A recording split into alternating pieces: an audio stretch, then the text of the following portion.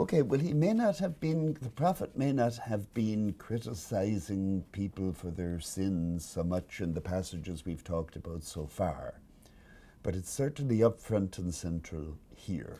Right, you know from the beginning of chapter one, right, uh, that the people are, that somebody's going to be in trouble, Yeah. right? Because whenever somebody calls for sort of heavenly witnesses, they're about to lay some thunder down, right? It's generally Yeah. how that goes. Yeah, I mean, this is often associated in the, in the Bible with the idea of a lawsuit, a riv.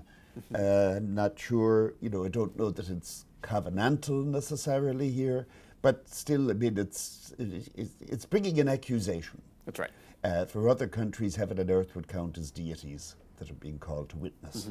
Now, the occasion of this one uh, is, is your country lies desolate, and daughter Zion is left like a booth in a vineyard, like a shelter in a cucumber field, like a besieged city. So we know that chronologically we are not at the beginning, even though we're at the beginning of the book. Right. In fact, we're probably pretty close to the end. Exactly. Uh, because the, the situation that this calls to mind is surely the invasion of Sennacherib. Mm-hmm. Uh, where Sennacherib boasted that he shut up Hezekiah in Jerusalem like a, bird, in a cage, Mm-hmm. and uh, you know destroyed pretty much the rest of the country. Yeah. In fact, the argument has been made that this is why they could centralize the cult a little bit later, because all the other places had been destroyed anyway Right. and, and taken out of business. So you see, it's coming then, uh, we'll talk a little bit more about Sennacherib and um, Hezekiah's role in it in a few minutes in the next segment. But uh, did he do, was it good to rebel against Assyria? Or was it not? You see, we tend to assume it must have been good. Yeah, it depends how you look at it. Yeah. It's almost never a good idea, pragmatically. Yeah. Um, uh, you know, there's right. Nobody, nobody successfully did did so. Yeah. Um, uh, so it's a question of right how one pushes back, right? Do we simply let them come through? Right. Obviously, Sennacherib destroyed everything but Jerusalem. Yeah. So there must have been, you know, there must be some resistance of some kind, but not enough. Not enough to be effective, at any rate. Um, a few years ago, I was in Berlin, and uh, we went to see there's a church that had been built by the Kaiser Wilhelm, the Wilhelmskirche, that was left in ruins as a monument to the war, and this passage was quoted. Uh, the implication being, you know, we brought this upon ourselves. And I thought it was quite moving to see the application of it. But it's interesting that that's how Isaiah seems to have thought about Jerusalem. Whereas you would think they were within their right, so to speak, to rebel against Assyria. But uh, that doesn't seem to be the way the prophet looked at it. Yeah, everything we've talked about so far has been how Isaiah sort of knew that the bad was coming and what Israel should do in response.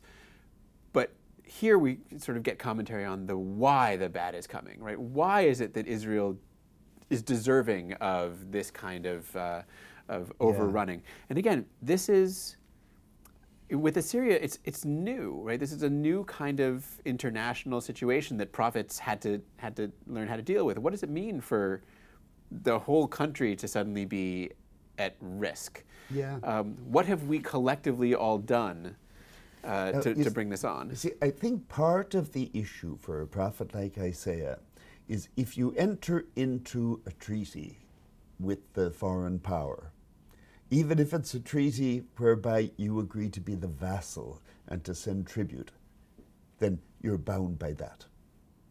And that it's wrong to break the oaths of your treaty. That's, um, I think some of that may be in the background here. But but he doesn't think that Israel has been all good either. No, he doesn't. He doesn't. And in fact, uh, not only have they not been all good, but even when they were trying to be good, when they thought they were being good, Because in, in verse 10 he says, Hear the word of the Lord, you rulers of Sodom, you people of Gomorrah. We're out calling a place Sodom and Gomorrah Has never been good. has never been good. and and uh, you know, it may not necessarily uh, allude to sodomy as we would use the word, Certainly but at not. least it is uh, indicating there's trouble coming. Mm-hmm. Now, but what to me is the multitude of your sacrifices, says the Lord? I have had enough of burnt offerings of rams and the fat of fed beasts. I do not delight in the blood of bulls or of lambs or of goats. When you come to appear before me, who asked this from your hand? Trample my courts no more, bringing offerings is futile. I'm weary of bearing your festivals and so forth. You know, if you've read, say, the Pentateuch, or other great chunks, Ezekiel, plenty of chunks of, uh, of literature, you would be very surprised to hear somebody in the in the Bible say that sacrifice is unwelcome. You would, but now he isn't the only one saying it at this point in time. Right. Because you get this also famously in Amos take away from me the noise of your songs. Uh, And what do you make of it? Do you think that this is actually a condemnation of the ritual and the cult that had been at the center of Israel's sort of corporate religion and Well, faith? You know, I think it is a condemnation of the cult as it was being practiced, Which is how? which is uh, people were going, bringing their sacrifices, and feeling then that they were good, that they had done all that the Lord required of them. So it's not it's not about it's not about actually what they were doing. They're doing the exact same thing that they're supposed to be doing. But there are a lot of other things that they're supposed to be doing that they're not doing. Aha. And bringing the sacrifices makes them feel absolved, makes them feel justified. Now, I think it's important to bear in mind that none of these prophets was a philosopher or a theologian. They're not systematic thinkers. Right. You know, they speak to particular occasions. So if you asked Isaiah, is it wrong in all circumstances to offer sacrifices to the Lord? Uh, you know, He wouldn't understand the question. he really wouldn't understand the question. I think for anybody at that time, it would have been inconceivable, Mm-hmm. maybe to have a cult where you didn't have some kind of sacrifice. Sure. But what, they, what he's speaking to is the way you're doing it now. And it's not that you're bringing the wrong kind of animals, and it's, it's, the, it's the priority. It's the, the importance you attach to it. Right. It's that you think that simply by going through the rote cultic ritual motions, you have done what God wants from you. Exactly. And and and instead, right, the idea is it, it's it's not if I bring these sacrifices I will be good. It's really you ought to be good before you bring Before you bring sacrifices. sacrifice. Right, when sacrifice is understood as the conduit, the, the way that one can communicate, can uh, right. Even we think of right the Psalms, we think of these as sort of the liturgy of the temple. Right, this is where people said what they want, what they felt, Yeah. and asked for things. You never would go to the temple to recite your psalm of thanksgiving or a, or request without a sacrifice to accompany it. So, if sacrifice is part of the way that you communicate with God, God is essentially saying through Isaiah, actually, I'm not going to talk to you. Yeah. I'm not going to talk to you if this is how you're behaving, uh, you know, in the rest of your lives. You cannot simply walk in and do right, the rote ritual Yeah. act and, ex- and expect results. Yeah, I think what uh, what both Isaiah and Amos and Hosea and you know all the eighth century prophets were, were trying to do was shift the focus. What's the most important thing? And I think they are saying fairly emphatically the sacrifices in themselves are not the most important thing. Mm-hmm. Amos says, Did you bring me sacrifices 40 years in the wilderness? From which you can conclude he mustn't have read the book of Leviticus. Exactly. if he had, it would be obvious that they did. Yeah. But, but he's assuming they didn't. right. And it would be hard to maintain much of a sacrificial cult if you're wandering around in the wilderness, I imagine. Mm-hmm. Uh, but the, the point he was trying to make is that's not of the essence. Not necessarily that it's wrong in all circumstances or that you shouldn't have it at all. And I think that's what Isaiah is trying to do too. Yeah, it's a, uh, it's it's actually suggesting that the cult does function the way you, it's supposed to, when it's approached by, you know, as as the as one of the psalms says, right? Uh, who may go up to the mountain of the Lord, right? One who is Yeah. right pure hands and a, and a clean heart, right? There's, Yeah. right? It, it's it's not it's not simply a, a, panacea. It's a little right. Isaiah's message, not unsurprisingly, has a little bit of what would come to be sort of a Reformation message, to right, a Protestant Reformation message to it, which I think is Yeah. partly why uh, you know so much of uh, you know early biblical scholarship uh, and and I mean going back to the Reformation prioritize.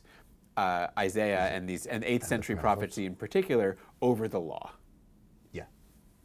And over, over the cult, Mm-hmm. and did so probably in a way that was more anti Catholic than anti Jewish, actually. Sure. But let's skip over to chapter 5, because th- this is another passage where Isaiah sounds a bit like Amos or the other uh, 8th century prophets. Uh, he goes through the, the Song of the Vineyard, first of all. Uh, you know, the vineyard, good thing, you figure. Uh, but then he says, I will tell you what I will do to my vineyard. I will remove its hedge, break down its wall. And why? Because it didn't produce. Yeah, yeah. It's one. It's one of the longest sort of extended metaphors in uh, in Isaiah, but it's very much of a piece, right? Isaiah really loves the agricultural uh, metaphors. Yeah. Uh, I've always said that Isaiah is actually much easier to read if you're a farmer.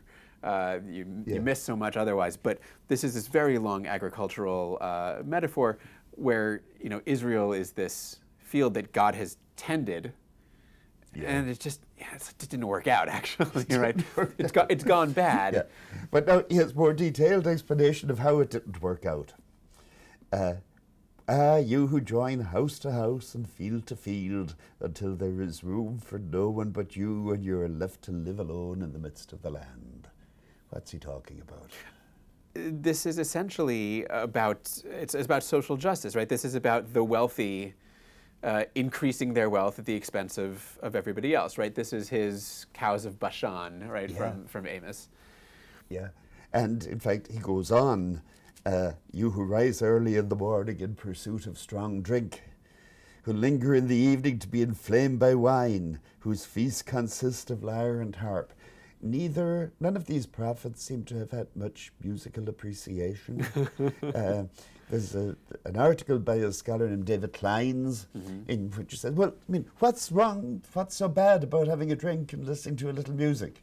Uh, but I think what's so bad about it for these prophets is the contrast. Yeah, there's only so many. There's only a certain mem, you know section of society That that, has the wherewithal and the leisure to to drink and listen to music. Yeah, I mean, this stuff hasn't altogether lost its relevance, Mm-hmm. it seems to be in the modern world.